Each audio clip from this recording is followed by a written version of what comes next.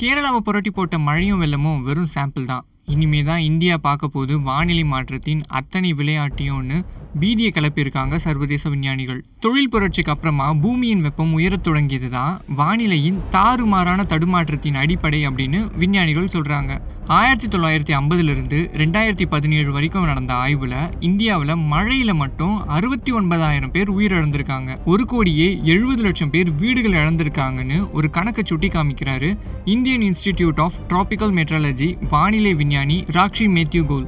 தொழில்மயமாக்கும் நடவடிக்கையில் இப்படியே நச்சு வாயுக்கள் அதிகரிக்கும் போது எந்த அரசாங்கத்தாலும் சமாளிக்க முடியாத விளைவுகளை இந்திய மக்கள் எதிர்கொள்வாங்கன்னு ஜெர்மனியில் உள்ள Potsdam Institute of Climate Impact ரிசர்ச்சோட விஞ்ஞானி கீரா விங்கி எச்சரிக்கிறாரு.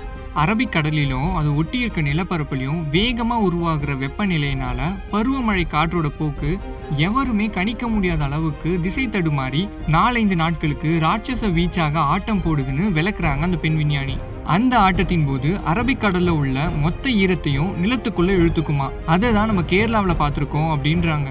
இந்த மாற்றங்கள் எல்லாமே தொழில் புரட்சியை அடுத்து பூமியின் சராசரி மேல்பரப்பு வெப்பம் ஒரே ஒரு டிகிரி செல்சியஸ் அதிகரிச்சதுனால உண்டான விளைவு. இப்போ அது மத்திய இந்தியாவிலையும் தெற்கு இந்தியாவிலையும் வெளிப்படுதுன்னு சொல்றாங்க ரஷ்யன் அகாடமி ஆஃப் சயின்ஸ் பருவமழை பிரிவு பேராசிரியர் எலினா. இந்தியாவில் இப்போ நிலவும் தொழில்மய விளைவுகளால் பூமியின் சராசரி வெப்பநிலை மூன்று டிகிரி செல்சியஸ் வரைக்கும் அதிகரிக்குமா? அதை தடுக்க தவறினா இந்தியாவின் மொத்த உற்பத்தியில் ரெண்டு புள்ளி எட்டு சதவீதம் அடி வாங்கும்னு உலக வங்கியின் சவுத் ஏஷியன் ஹாட்ஸ்பாட் அறிக்கை சொல்லுது. இரண்டாயிரத்தி ஐம்பதுக்குள்ள இந்தியாவில் பாதி பேரோட வாழ்க்கை தரம் இதனால் கீழே இழுக்கப்படும்னு மிரட்டுது அந்த ரிப்போர்ட். மழை எப்படி தாங்க முடியாத அளவுக்கு இருந்ததோ அதே போல் இந்தியாவில் இனிமே கோடையில் வெப்பமும் தாங்க முடியாத அளவை எட்டி நீண்ட நாட்களுக்கு நீடிக்கும்னு சொல்கிறாங்க விஞ்ஞானிகள். கங்கை பிரம்மபுத்திரா போன்ற மிகப்பெரிய நதிகள் பாயும் செழிப்பான சமவெளி பிரதேசங்கள் கூட வாழ வழியில்லாத வகையில் மாறி போகுமா?